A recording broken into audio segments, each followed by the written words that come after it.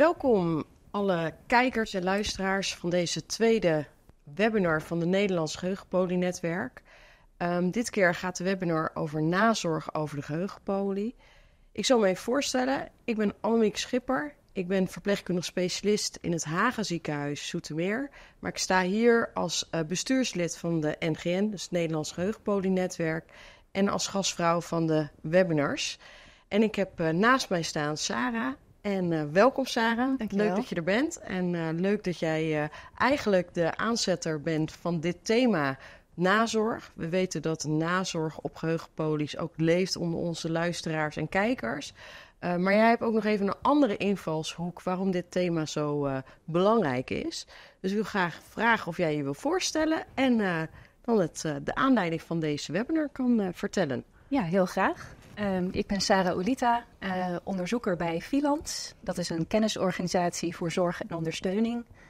En uh, als onderzoeker ben ik uh, ook betrokken bij een aantal onderzoeksconsortia, TAP Dementia en Abort. En een poosje terug heb ik voor een van deze consortia um, interviews gehouden met patiënten en naasten. En die interviews gingen over het uitslaggesprek op de geheugenpolie en hoe zij dat hebben ervaren. En um, die gesprekken voerde ik enkele weken tot enkele maanden na dit uitslaggesprek. En eigenlijk door die timing kwam in elk gesprek ook aan bod hoe de patiënt en de naaste die periode direct na de diagnose hebben ervaren. Daar zaten ze op dat moment nog middenin. En um, nou, wat, ze, wat ze zo vertelde was dat de diagnose vaak als een enorme klap kwam. En de informatie die direct daarna werd gegeven, ging eigenlijk een beetje langs hen heen.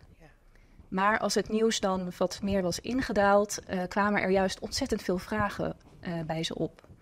En um, als ik die vragen allemaal even kort moet samenvatten, ging het om hoe moeten we nu verder? Wat ja. staat ons te wachten? En ze waren ontzettend op zoek naar houvast.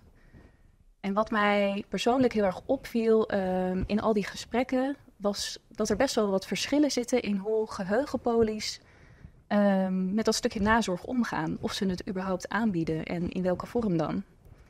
Ja. Uh, ik heb mensen gesproken die heel erg het gevoel hadden dat ze na het horen van de diagnose naar huis werden gestuurd ja, zonder enige houvast. Uh, het gevoel dat ze er alleen voor stonden en dat ze het zelf maar verder moesten uitzoeken. Um, en dat de geheugenpolie hen daar eigenlijk weinig bij ondersteunde. Maar ik heb ook hele mooie voorbeelden gehoord uh, van geheugenpolies die wel een stukje nazorg aanboden. Bijvoorbeeld in de vorm van een nagesprek enkele weken later.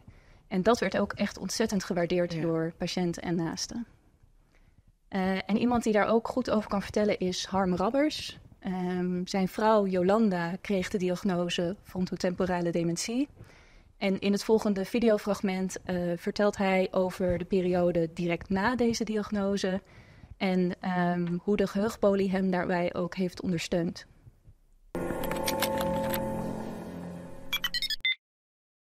Harm, zojuist heb je wat meer verteld over uh, het bezoek in de VU. Ja, uh, en daar hebben jullie de diagnose FTD te horen gekregen. Ja. En normaal gesproken is daar dan natuurlijk een soort van nazorgtraject. Kan je daar wat meer over vertellen, Harm?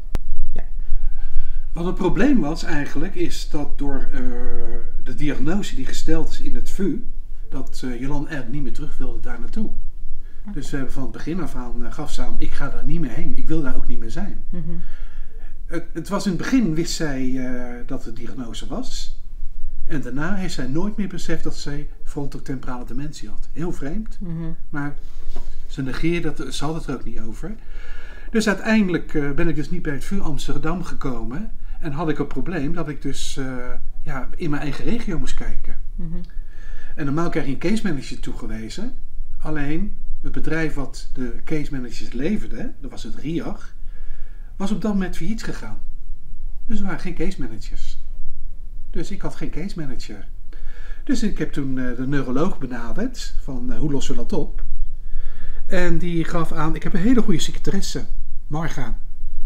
En Marga kan je wel helpen bij een en ander even te coördineren om aan te geven wat je moet doen en wat de mogelijkheden zijn. Dus neem contact met haar op.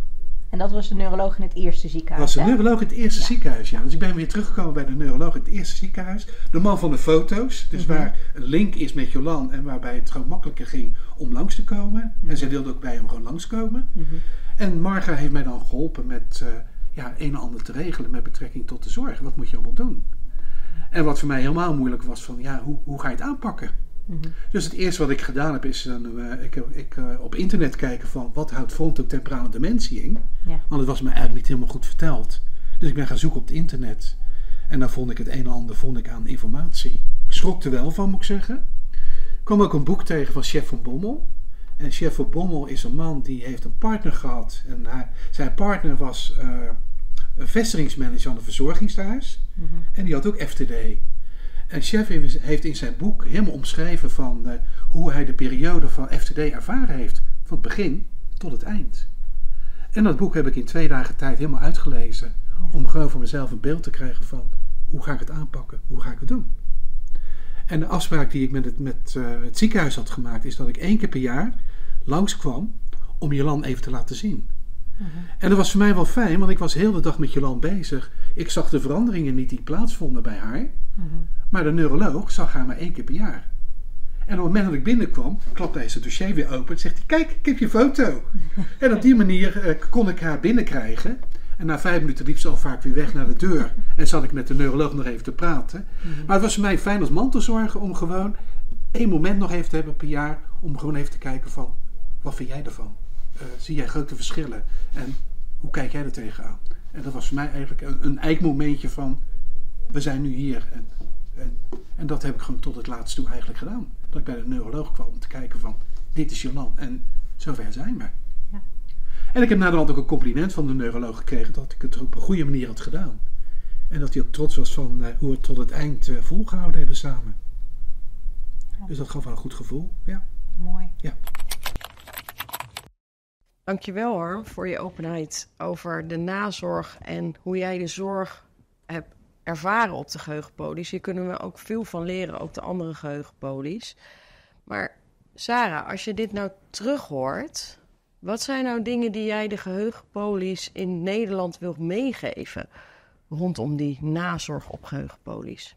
Ja, nou, ik denk dat Harm uh, ja, gaf duidelijk aan dat hij zat, uh, hij was op zoek naar informatie, maar eigenlijk wilde hij ook um, ja, gewoon elk jaar even een bevestiging horen uh, of even een, een, een, mening horen van de neuroloog van wat, wat vindt hij ervan. En dat is eigenlijk helemaal niet zo ingewikkeld. En ja, de neuroloog hoeft daarin ook niet heel veel antwoorden te geven um, uh, of prognoses te geven. Maar alleen al dat moment uh, dat ze elkaar zien is al ontzettend veel waard voor Harm geweest. Ja. Dus gewoon gezien worden en je verhaal kwijt kunnen aan een professional is soms eigenlijk al genoeg. Ja, is al een stukje nazorg. Ja, ja. mooi. En uh, ja, ik merk dus dat uh, die ervaringen toch wel heel erg uiteenlopen. En het, het verschilt ook wel hoe de geheugenpolies erover denken in wat hun rol of verantwoordelijkheid hierin is. Nou, en daarom denk ik een mooi uh, dat wij in deze webinar hier aandacht aan besteden. En nou, ik hoop ook dat wij andere polies nog verder kunnen inspireren door ja. wat mooie voorbeelden te geven van hoe, hoe zou je dat kunnen inrichten. En um, nou, Annemieke, jij hebt zelf natuurlijk hier ook ervaring mee. Um, Zou jij wat willen vertellen hoe jij dat doet in Zoetermeer? Ja, graag. Ja, ik uh, heb de geheugenpolie samen met mijn collega's in 2010 gestart in Zoetermeer. En wat al eigenlijk heel bijzonder was, is dat op onze geheugenpolie was al de case management dementie nauw betrokken. Ze waren ook bij de multidisciplinair overleggen aanwezig. Uh, en ze zijn ook bij het opzetten van de geheugenpoliestructuur hebben ze meegedacht. Dus dat is al natuurlijk heel bijzonder. Daarnaast samenwerking met geriatrie en neurologie. En ik ben zelf verpleegkundig specialist op de neurologie. En op een gegeven moment was mijn uh, eigen onderzoek voor mijn studie als verpleegkundig specialist... was uh, wat is nou de beste zorg op een geheugenpolie? En ik heb daar ook uh, mensen voor geïnterviewd, patiënten en mantelzorgers... En eigenlijk aangeven wat voor hun een soort ja, best practice is. Dus eigenlijk de goede zorg in hun ogen op een geheugenpodium.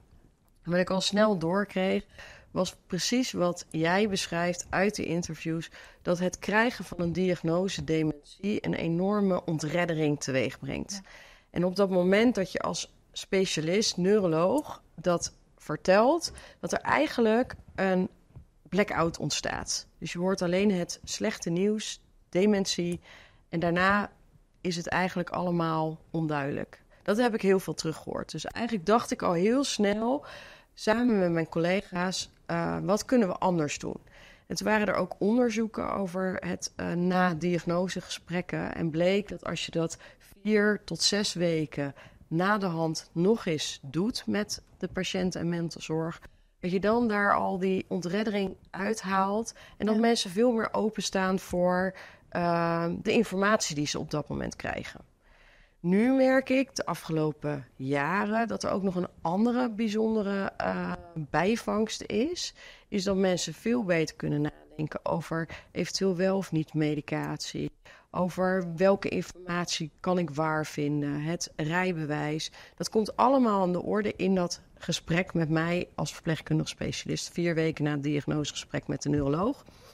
Maar ook omdat er op dat moment soms een wachtlijst was voor de case managers kon ik ze al in dat gesprek, dat nazorggesprek, uitleggen wat er in Zoetermeer allemaal voorhanden is om die wachtlijst te kunnen overbruggen. Ik merkte dat mensen de case manager dementie als een soort van die gaat mij helpen bij al die vragen, bij al die onrust. Maar er zijn zoveel andere zorgprofessionals, welzijnsmedewerkers, die mensen ook alvast op weg kunnen helpen. Ja.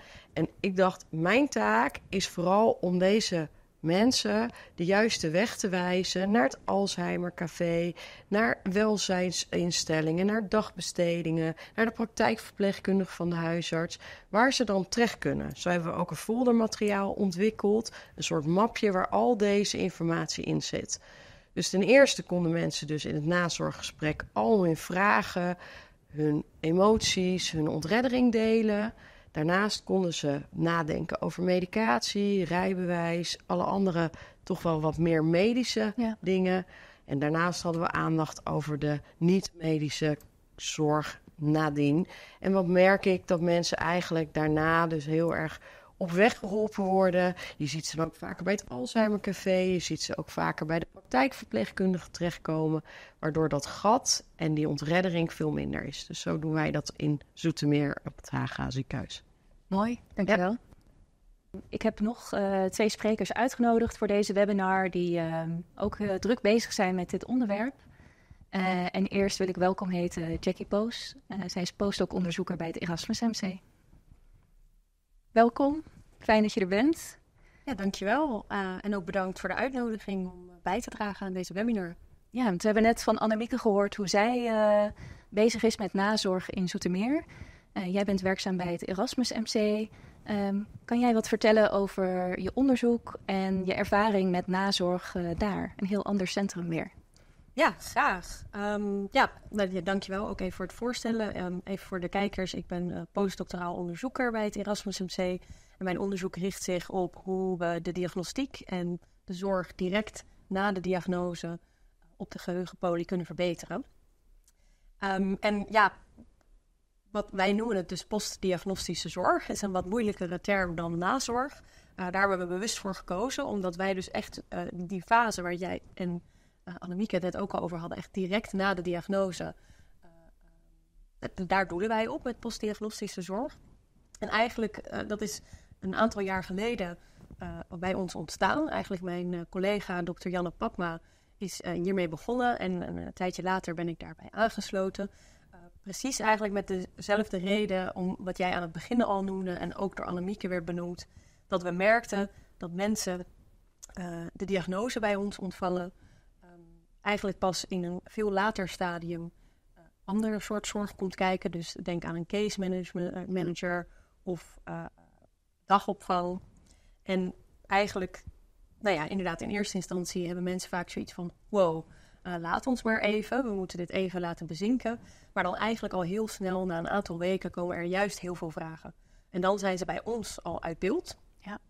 Um, en willen ze graag weten van, ja, wat, hoe nu verder? Hè? Wat, wat betekent dit nu eigenlijk? Uh, waar, hoe, hoe, hoe gaat de toekomst eruit zien? Waar moeten we ons op voorbereiden? Allerlei vragen uh, waarbij ze dan eigenlijk niet echt direct iemand hebben waarbij ze terecht kunnen.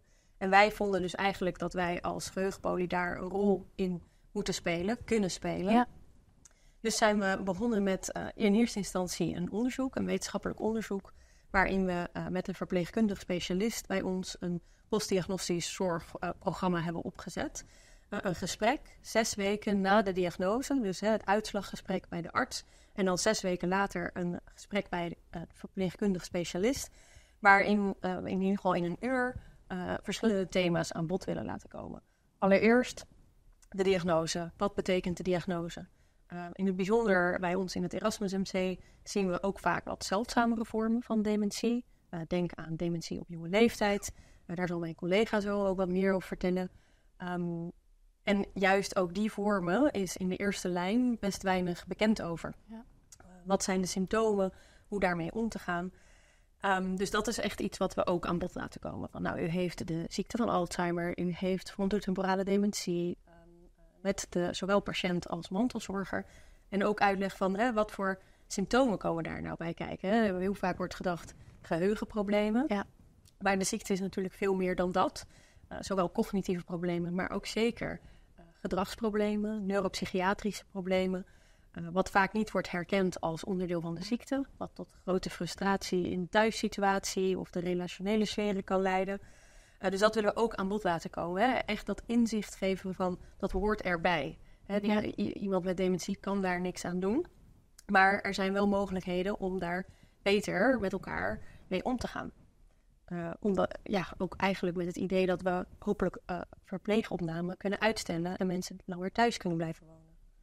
Um, dat is een stukje. Daarnaast willen we echt uh, met een hele proactieve aanpak een aanzet geven tot hè, we begrijpen dat het nu nog niet nodig is. Want nu gaan er misschien heel veel dingen nog wel goed. En wil je daar nog helemaal niet over nadenken. Mhm. Maar ga daar nu wel al over nadenken.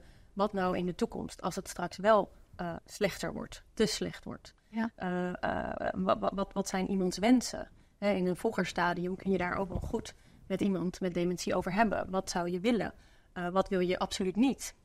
Kun je het al met elkaar over hebben? en ga ook alvast uitzoeken wat er in uw regio wat het aanbod aan zorg is.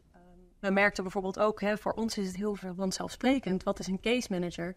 Maar er zijn best weinig mensen die, voordat ze dit traject ingaan, weten wat een case manager überhaupt is en wat uh, hij of zij voor je kan betekenen. Ja. Dus we geven ook daar een stukje voorlichting in van hè, wat is uh, wat, wat, ja, de verschillende uh, vormen van zorg die, die in het zorgtraject van iemand met dementie komen spelen, geven we uitleg over.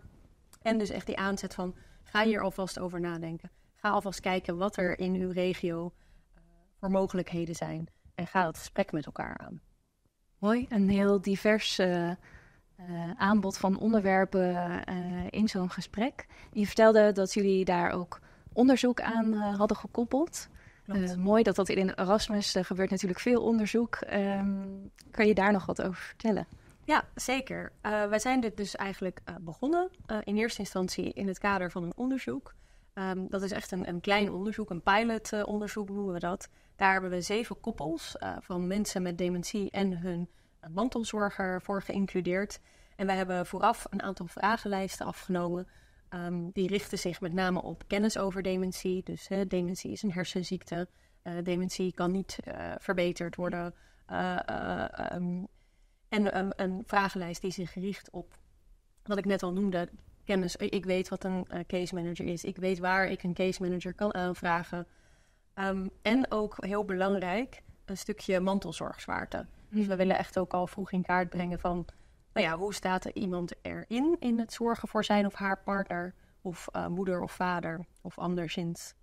Um, heeft iemand uh, zelfvertrouwen op dit moment? Heeft iemand het gevoel dat hij of zij dit nog wel langer aan kan? Ook om te kijken van hè, tijdens dat gesprek kan de verpleegkundige specialist daar op aanzetten en advies ingeven van goh, uh, is, is, er een reden waarom u niet dit wilt dragen met andere familieleden of vrienden? Zou u, zijn er niet mensen in uw netwerk met wie u, ja, nou ja, al is maar een dagje uh, vrij te nemen, dat mm. iemand anders het even van u overneemt? ook om dat te verlengen, dat dat langer volgehouden kan worden. dus dat brengen we ook in kaart met een vragenlijst. Vervolgens hebben mensen het gesprek gehad. En achteraf hebben ze diezelfde vragenlijsten nog een keer ingevuld. Om zo te kijken van, zien we daar nou een verandering in? Hè? Dat die kennis over dementie en zorgaanbod ja. toeneemt. en ook dat vertrouwen in zichzelf als mantelzorger. Ehm, en nou ja, het is, is, natuurlijk voorzichtig, want het zijn zeven koppels, dus we moeten daar voorzichtig in zijn. Het was ook niet de bedoeling hierbij van, oh, het moet een grootschalig wetenschappelijk onderzoek worden wat we uh, dan kunnen publiceren en, en heel veel uh, nou ja, aanzien of iets bij komt kijken. Het was echt bedoeld van, we willen dit gewoon eigenlijk zo snel mogelijk implementeren. Dus we willen gewoon kijken en evalueren bij mensen, wat werkt wel, wat werkt niet. Dat zo snel mogelijk aanpassen, zodat we over konden gaan tot implementatie. Dus ik heb ook nog uh, telefonisch wat interviews uh, van mhm. wat vragen aan de mensen gesteld uh, hierover. En daar kwamen eigenlijk hele positieve uh, antwoorden op terug. Mensen hadden het inderdaad als heel waardevol ervaren. Ja, ook wat eigenlijk net al even genoemd werd, gewoon überhaupt het even je verhaal kwijt kunnen. Wat langer dan ja. bij de arts, hè, want het is toch een uur. Dus echt even wat meer ook de diepte ingaan. Van hoe ziet het er nou in het dagelijks leven uit? een positieve aanpak van hè, ook focussen op dingen die wel nog kunnen, in plaats van alleen maar focussen op dingen die niet meer kunnen. Ehm, en, en we zagen inderdaad ook op die vragenlijsten van dat kleine groepje dat inderdaad die thema's wel verbeterden. Dus dat heeft ons er inderdaad toe geleid om dit te gaan implementeren bij ons in het Alzheimercentrum. Dus dat zijn de afdeling neurologie en geriatrie. Ehm, het uh, loopt nu bij de geriatrie en we gaan uh, op korte termijn ook uh, starten op de neurologie. En ja, we zijn dat nu ook weer aan het evalueren. Dus we hebben nu een zorgconsulent aangenomen. Um, en we uh, doen weer de vragenlijsten vooraf en achteraf en ook interviews. Ja, en de vragenlijsten moeten we nog gaan uh, analyseren, want we willen nu echt een grotere groep verzamelen. Dus ik geloof dat we nu op 35 mensen uh, zitten die in ieder geval het programma doorlopen hebben. Een stukje minder daarvan hebben de vragenlijsten ingevuld. maar we hebben hier dus wel semi-gestructureerde interviews afgenomen om te kijken van nou, wat zijn thema's die belangrijk zijn voor de mensen? Missen ze nog bepaalde thema's? En ik moet zeggen, voorlopige resultaten komen eigenlijk wel, uh, ja, ben ik heel tevreden over. Er komen hele uh, nuttige, komt hele nuttige informatie uit naar voren. Wat mooi, mooi dat jullie ook zo uh, evalueren en ook door dat kleine onderzoekje toch kijken, doen we het goede? En bereiken we wat we hopen te bereiken en dat zo praktisch maken. Dat is mooi om te horen. En um, je gaf, gaf, ook al even aan uh, dat jullie uh, wat uh, bijzondere groepen patiënten zien in het Erasmus. Ja. En dat daar ook wel um, ja, een andere aanpak misschien voor nodig is, dat zij andere behoeftes hebben. En um, nou, volgens mij heb jij een collega meegenomen, Hanna Bodde, promovendus bij het Erasmus MC. En die kan hier veel over vertellen.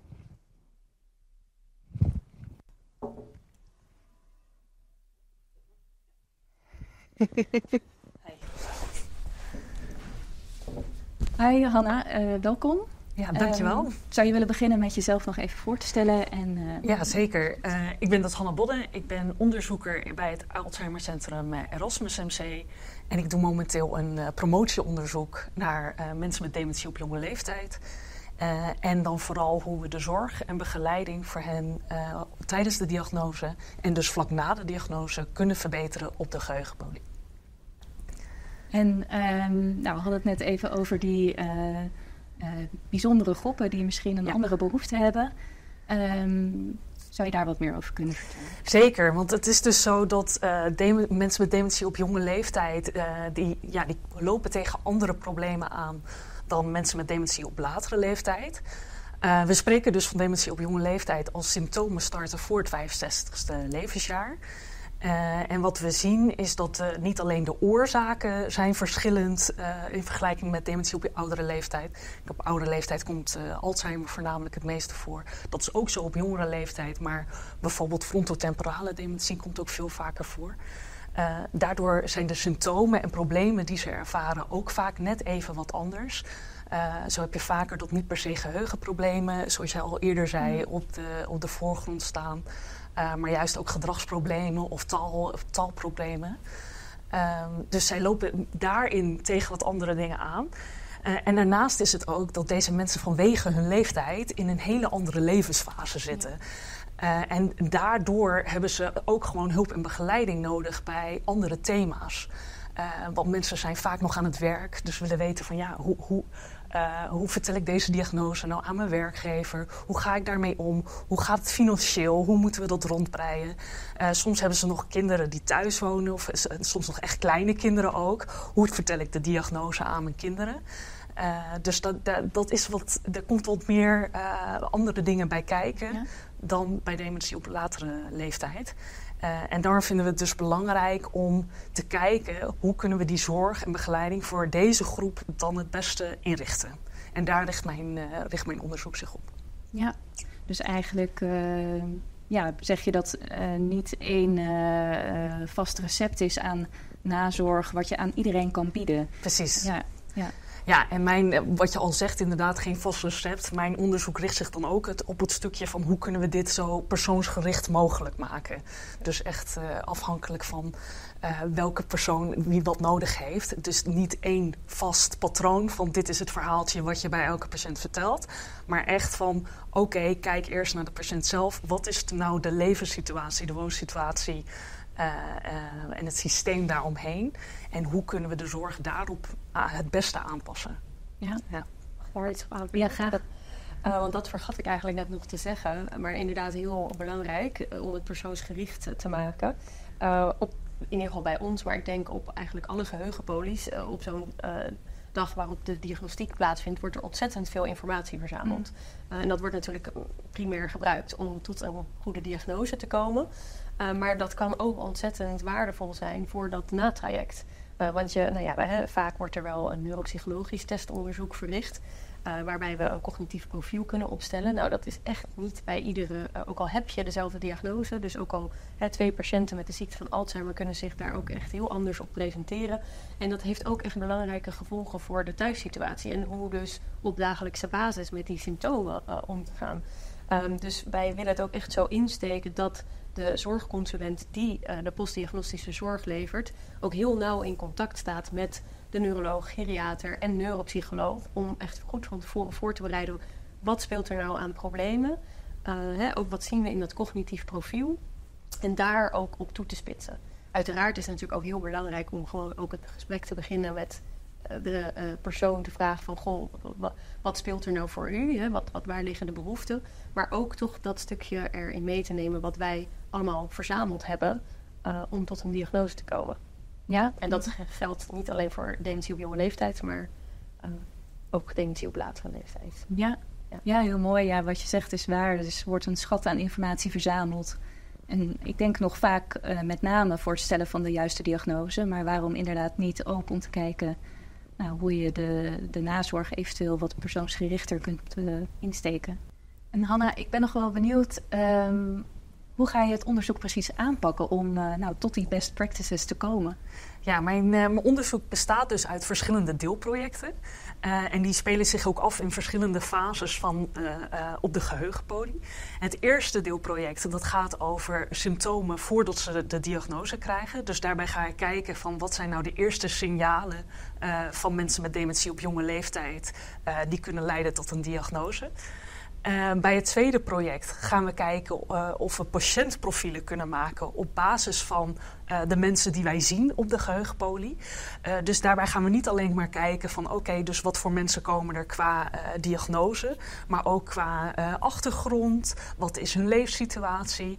en op basis daarvan willen we dus profielen maken van oké, dit soort mensen komen er dus. En uiteindelijk willen we dat graag koppelen aan uh, dan kan je dus bijvoorbeeld dit soort zorg en behoeftes uh, hebben als persoon. Uh, en om die op te halen ga ik interviews doen met mensen met dementie op jonge leeftijd zelf en hun, en hun naasten. zeker in het geval dat ze dat zelf niet meer zo goed kunnen vertellen. En als laatste project ga ik ook nog interviews en focusgroepen doen met zorgprofessionals. Uh, dit in verschillende regio's, omdat we dus zien dat het op geheugenpolies weer heel anders wordt georganiseerd. om te kijken van hoe doen ze het daar en wat werkt er nou wel en wat werkt er niet in het bieden van die zorg. En uiteindelijk is dus het idee dat ik al die resultaten samen neem en ga kijken van oké, wat moet er dan dus in zo'n best practice voor zorg en begeleiding tijdens de diagnose en vlak na de diagnose. Mooi. Ja, ik ben uh, erg benieuwd. Heel veel succes ermee. Dankjewel. En uh, dan zou ik graag uh, Annemieke weer willen uitnodigen om aan de tafel te komen staan. En um, de vraag aan jullie alle drie.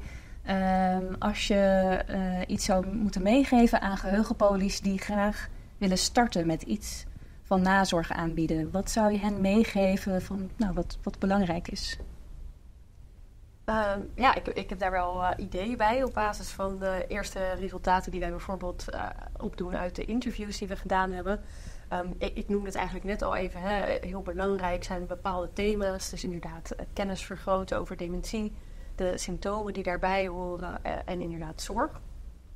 Ehm, maar wat eigenlijk, dus eigenlijk hadden we ook verwacht natuurlijk dat, dat, dat het daar ook op zou werken. Dus dat we daar positieve effecten zouden zien. Um, maar wat, waar we eigenlijk niet bij stil hadden gestaan, maar wat we wel gevonden hebben en eigenlijk ja, heel logisch is, uh, nu ik erover na heb gedacht, is de aanpak van de uh, zorgprofessional die de postdiagnostische zorg levert. Dus ja, even heel simpel gezegd, uh, you need the right man for the mm. job, zeg maar. dus wat eigenlijk alle patiënten en de naasten bij ons aangaven in die interviews als eerste. Dus we beginnen al heel open de vraag van, goh, wat, wat vond u van dat gesprek? Eigenlijk iedereen begon uh, met, uh, nou ja, over uh, onze zorgconsulent. Van, ja, het was gewoon een hele fijne sfeer die ze creëerde. heel empathisch, heel inlevend. Dus echt die hele empathische aanpak vonden mensen belangrijk. Um, en ook dat, die positiviteit. Dus echt vooral de focus leggen op wat kan er allemaal nog wel. In plaats van alleen maar spreken in termen van wat kan er allemaal niet meer. Uh, en dat uh, ja, was dus uh, verraste ons. Um, maar eigenlijk, ja, zoals ik al zei, best heel logisch. dus ja, ik ben ook wel benieuwd, Annemieke, jij doet het al een hele tijd. Ik ben benieuwd hoe jij dat ook ziet. Ja, ik merk wel dat mensen het heel fijn vinden dat ik de tijd voor ze neem, dat ik naar ze luister. En inderdaad, die positieve, wat kan er nog wel? En het houdt niet op na de diagnose dementie is denk ik heel erg belangrijk. Uh, en ik neem ze daar ook in mee. vooral kijken wat nog wel kan.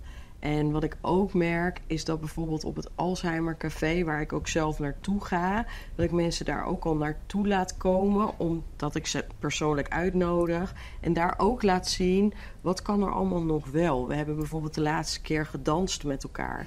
En mm. dat soort positieve dingen wil je met ze meegeven. Dat we aan de ene kant heel goed begrijpen dat je wereld instort en dat er heel veel angsten en zorgen zijn, maar met de juiste hulp en begeleiding en eigenlijk die persoon die er voor diegene zijn en luistert, aandacht geeft, dat dan je ook nog kan leven met een diagnose dementie. En dat wil ik eigenlijk meegeven aan alle geheugenpolis en ook alle mensen die nu naar deze webinar luisteren. Dit zijn verschillende voorbeelden van mensen die vanuit een intrinsieke motivatie bedacht hebben: we kunnen het ook anders doen. Er zijn geluiden, we missen bepaalde dingen, er gaan dingen niet zo heel erg goed. En wat kunnen we doen om te verbeteren? En ik heb dat in Zoetermeer met mijn collega's gewoon gedaan. Uh, maar het is ook zo belangrijk om het te doen zoals jullie het doen. En het ook daadwerkelijk in onderzoek in kaart te brengen. Dat we het ook kunnen laten zien waarom het zo belangrijk is. Dat die uitkomsten en resultaten ons steunen in die extra aandacht en zorg die we geven. Maar ik denk eigenlijk vooral het doen en laten zien aan iedereen die op een geheugenpolie werkt dat het voor de efficiëntie, kwaliteit van zorg belangrijk is. Want ik denk door deze begeleiding en ondersteuning dat mensen veel minder uh, vraag nemen naar zorg. Of dat wel is op de geheugenpolie zelf, maar ook later in het proces. Omdat ze goed geïnformeerd zijn, ze zijn empowered. Maar belangrijker nog dat de patiënten tevreden zijn en dat de mantelzorgers niet het gevoel hebben tot alleen te staan. Dus dat is, ik hoop echt dat de mensen die hier luisteren geïnspireerd worden om te kijken hoe kan ik dat op mijn geheugenpolie doen? En dan ook naar jou luisterend van het kan vooral op maat. Je hoeft niet te kijken, ik wil het hetzelfde doen als de Erasmus of het Haga ziekenhuis. Ik kijk naar wie ik voorhanden heb op mijn poli en ga persoonsgericht, maar ook eigenlijk geheugenpolie gericht die nazorg of postdiagnostische zorg leveren voor onze patiënten. Omdat we vanuit het gevoel hebben dat dat voor de patiënten en de mantelzorgers het belangrijkste is om te doen. Mooi. Dat was eigenlijk, uh, denk ik, waar het over gaat. Ja, zeker. Ja. Nou. Ja.